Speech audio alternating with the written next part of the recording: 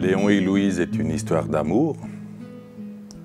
Entre, ça démarre euh, en 1917 entre deux adolescents, Léon et Louise, et ça dure quasiment un siècle. C'est une longue histoire d'amour, euh, une histoire d'amour, euh, de loyauté aussi, de sincérité, de franchise qui n'est jamais trahie par des mensonges ou de bassesse. Il n'y a pas de ça là-dedans. Même euh, si c'est une sorte de ménage à trois, mon grand-père s'appelait effectivement Léon comme mon héros.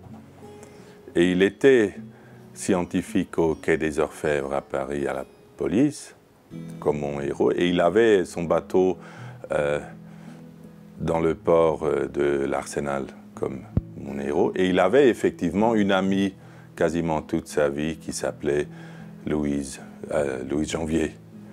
moi, personnellement, j'ai croisé une seule fois lors de l'enterrement de mon grand-père. C'est la seule fois que je l'ai vu. Euh, à part ça, c'était toujours la, grande absente euh, dans la famille.